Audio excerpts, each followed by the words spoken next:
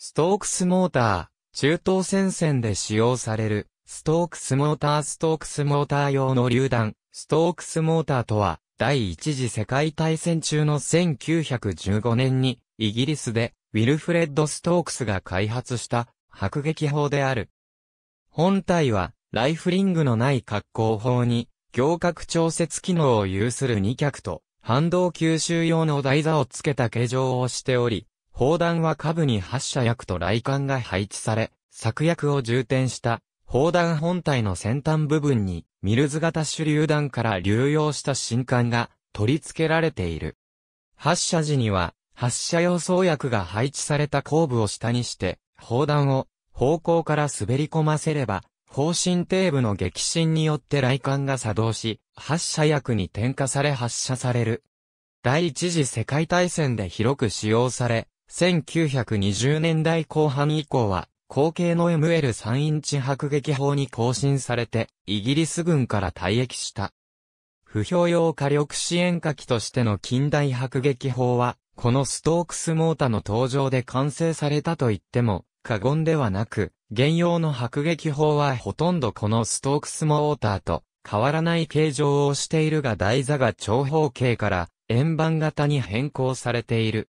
砲弾に関しては弾道を安定させるために後部に翼が取り付けられるとともに、砲弾自体の形状も類的型に改良されている。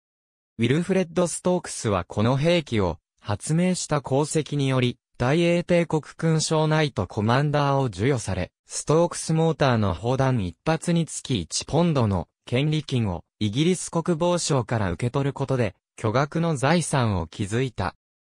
アペンディックス、D Details of Trench Motors in Field Artillery Notes No.7 モルタルイコール48ポンド、エレベーティングスタンドイコール28ポンド、ベースプレートイコール28ポンド、トータルウェイトフォートランスポートイコール104ポンズ、アペンディックス、E Details of Ammunition in Field Artillery Notes No.7 This figure is for the unstabilized cylindrical bomb used in World War I、from range tables、September 1917、45度 gave、maximum range with any particular propellant amount、EG420。yards with 1 ring、75度 gave、the most vertical descent for the shell the shortest、range with any particular propellant amount EG197 yards with 1 ring、Appendix、D Details of Trench Mortars in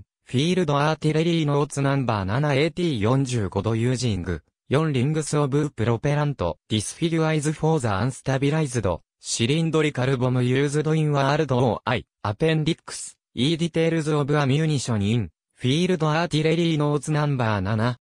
ありがとうございます。